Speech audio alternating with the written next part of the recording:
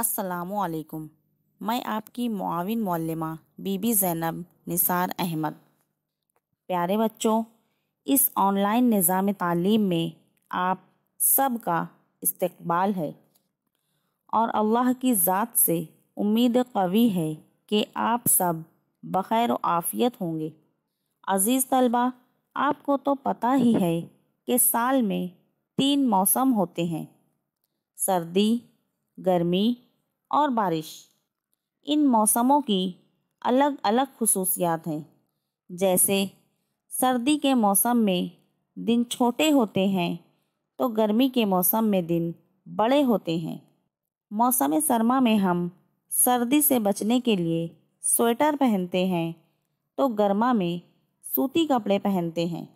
सर्दी के दिनों में हमें भूख ज़्यादा लगती है तो गर्मी में प्यास ज़्यादा लगती है। तो प्यारे बच्चों, हमें मौसम सरमा में सर्दी और मौसम गर्मा में गर्मी क्यों लगती है?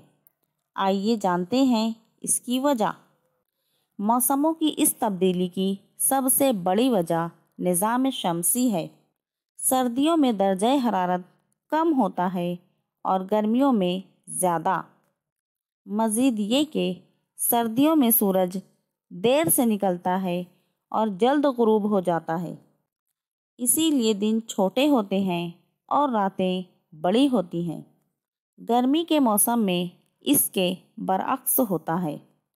यानी गर्मी में सूरज जल्द निकलकर देर से गुरूब होता है।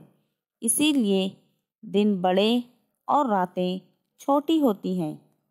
तो अज़ीज़ बच्चों, सूरज का हमारी ज़िंदगी और माहौल से बहुत गहरा ताल्लुक़ है और मौसमों की तब्दीली में सूरज का बहुत अमल दखल है। इसीलिए आज हम जमात शशुम की उर्दू बाल भारती इस दरसी किताब से नज़म नंबर तीन सूरज के फ़ायदे पढ़ने जा रहे हैं।